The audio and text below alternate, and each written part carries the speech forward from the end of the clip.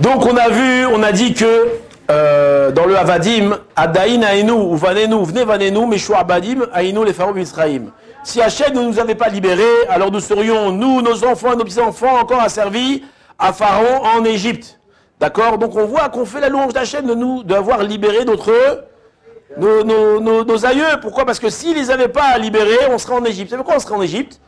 Alors peut-être qu'on n'existerait pas, on serait, qu'est-ce qu'on serait? On serait volatile, on n'existerait pas.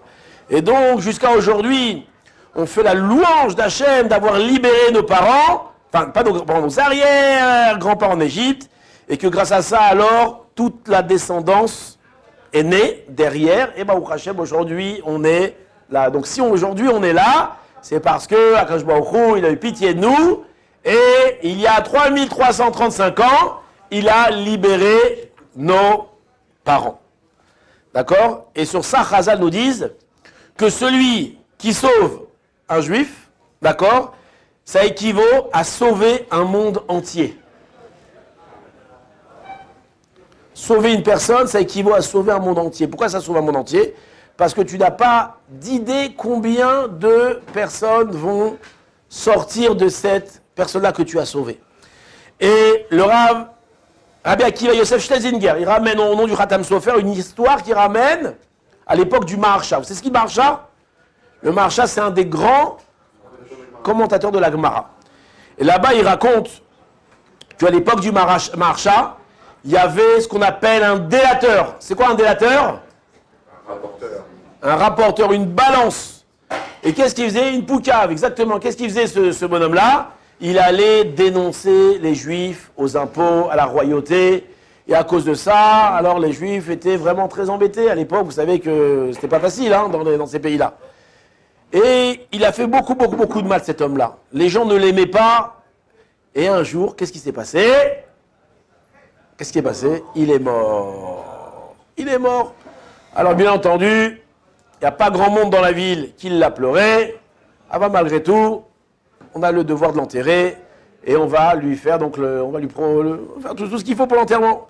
Et parmi le processus de l'enterrement, ça se dit comme ça, on ne sait pas, il y a ce qu'on appelle la tahara. C'est quoi la tahara? On va laver le mort. On va lui couper les cheveux, on va laver, toutes sortes de choses. Et donc les gens qui, qui faisaient la, la, tahara donc, de ce personnage-là, on imagine qu'ils étaient un petit peu, pas contents, mais bon, c'était un petit peu joyeux là-bas. Un certain bonhomme, ce bonhomme-là, il est, il, est, il est mort, donc il pleurait pas tellement. Et il y a un jeune dans l'assistante qui est en train de faire la tahara avec eux. Qu'est-ce qu'il a fait? Il a fait une pitchinette. C'est une pitchinette Comment on dit? Une pichenette Ah pardon, pas une pitchinette. Une pichenette sur le nez du mort. Paf Comme ça. Et qu'est-ce qui s'est passé? Toute l'assistance a éclaté de rire. Ha ha ha ha ha Quelle pichenette que t'as fait sur le cadavre Et tout le monde était mort de rire. D'accord? On a pris le mort. Il a bien fait ou pas? C'est un, une poucave. D'accord, le mec il est mort. C'est une poucave. Bon, toi tu sais pas, d'accord. En tout cas, il l'a fait. Il a fait la pichenette, on a enterré le mort. Qu'est-ce qui s'est passé? Le même soir, le jeune homme rêve. De qui il rêve? Du mort. Et il voit le mort arriver, furax. Énervé, tu n'as pas honte, tu m'as humilié, je t'attaque, je veux maintenant que tu montes avec moi dans le tribunal, céleste, d'accord, pour te faire juger de la grande humiliation que tu m'as fait. Et le, gosse, il voit ça, il se réveille en sueur, il dit Ouais, ouais, qu'est-ce que j'ai rêvé Bon, le lendemain, qu'est-ce qui se passe? Encore une fois, il rêve la même chose. Et tous les soirs, le gosse, il rêve du mort et le mort, il revient pour l'embêter tous les soirs, tous les soirs, tous les soirs. À la fin, ce gosse-là, il n'a plus de vie il est, pas à dormir, il est mal, il est angoissé, il a, peur, il a très très peur de ce mort. Le père de ce jeune homme va voir le Maharsha et il lui raconte l'histoire. Et le Maharsha, il lui dit, viens faire venir ton fils chez moi et il va dormir dans la, dans la pièce où je suis, d'accord, où j'étudie. Et lorsque il va voir cette apparition du mort, alors qu'il crie, qui m'appelle et moi je vais parler aux morts. Donc le gosse il est venu, il a dormi, le était en train d'étudier et en plein milieu de la nuit, le gosse commence à crier, à hurler Et là, le marcha, il se retourne et commence à s'adresser aux morts. Il dit Qu'est-ce que tu veux? Laisse-le tranquille. Il a dit Non, je ne laisse pas tranquille. Cet homme-là m'a fait une grande honte. Il m'a humilié en public. Et je l'attaque maintenant. Je veux qu'il vienne avec moi au tribunal céleste pour être puni de la grave faute qu'il a fait. T'es d'accord, Gabriel? T'as pas honte. Et le marcha, il lui dit espèce d'imbécile. Là, enfin, je sais pas s'il a dit imbécile, hein, c'est moi qui le dis imbécile. Espèce de, dites le mot que vous voulez, de sot. Il a fait, c'est plus joli. Espèce de sot. Au contraire, tu étais toute ta vie, tu étais un homme qui a été détesté. Tu as, tu as dénoncé des gens, d'accord? Tu étais un Moser, Moïser. Tu étais un sale bonhomme toute ta vie. Donc aujourd'hui, cet homme-là, qu'est-ce qu'il t'a fait? C'est vrai qu'il t'a humilié, mais cette humiliation pour toi, c'est une expiation. Il a bien fait de t'humilier, tu méritais pas. Pas mieux que ça. D'accord Toute ta vie, t'étais un rachat. C'est quoi un rachat? Un impie. Et là, le mort, il lui répond, on dit, comment tu oses dire que j'étais un rachat? Il dit, ouais, t'es un rachat. Il dit, non.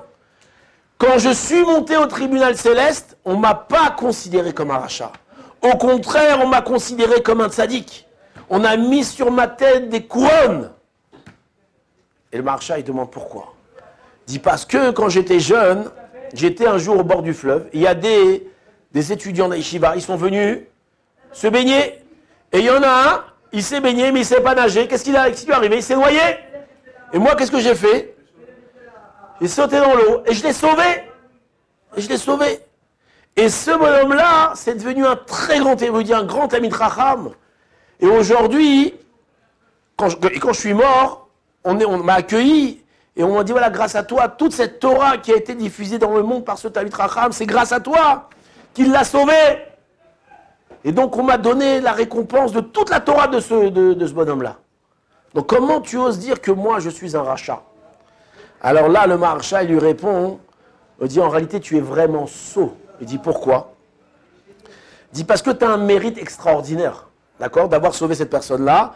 Et au lieu de payer pour toutes les fautes que tu as faites, tu as été récompensé pour, avoir sauvé ce bonhomme-là. Mais aujourd'hui, du ciel, qu'est-ce qu'on veut? On veut te faire perdre ce mérite-là. Comment? Le fait de venir et d'embêter ce jeune garçon-là, d'accord, et de la tride auto, comment on dit en français la tride? La tride, c'est le, perturber, d'accord Ça risque de quoi? Ça risque de, de le tuer, ce gosse-là et va savoir qu'est-ce que doit sortir de cet enfant-là, de ce jeune homme-là. Ça se trouve, ce jeune homme-là, lui-même, il va devenir un grand amitracham, un grand érudit, et qu'il va avoir des enfants, et ces enfants eux-mêmes vont être des grands érudits, etc., etc. Et aujourd'hui, toi, tu veux venir le tuer? En le tuant, qu'est-ce que tu vas faire? Tu vas perdre tous les mérites qu'il aurait pu amener sur terre. Tout ça à cause de toi. Et ça, on va t'accuser. Donc, d'un côté, tu as fait du bien, mais de l'autre côté, tu vas perdre ce bien en faisant ce mal-là. Et lorsque le mort, il a entendu ça, pouf, il a disparu. Pour nous dire que quoi Pour nous dire que quoi Il faut faire très attention. C'est terrible en réalité. Faire très attention à ce qu'on fait dans notre vie. Faire très attention, d'accord Quand tu fais du mal à quelqu'un ou tu, à cause de toi, une personne euh, a un mauvais comportement, ça sera sur ton compte à toi. Je vous ai raconté plusieurs fois qu'il y a des élèves qui sont venus à la yeshiva et à cause de mauvais comportements d'autres élèves, certaines personnes ont quitté la yeshiva. Et qu'est-ce qu'ils sont devenus, ceux qui ont quitté la yeshiva On ne sait pas. Alors s'il a de la chance, alors il est, devenu rien du tout, il est devenu quelqu'un de bien. Mais si à cause de ça, il est sorti du chemin, c'est à cause de qui? À cause de sa pomme, c'est très dangereux. Mais le contraire aussi, c'est bien. Si grâce à toi, il y a un type, il s'est rapproché de la Torah, tu l'as vu dans la rue, tu l'as mis de filine, tu l'as fait manger cachère, tu l'as donné un cours de Torah, et grâce à ça, il s'est renforcé, tous les mérites que tu as acquis. Donc, faisons attention à nos actes.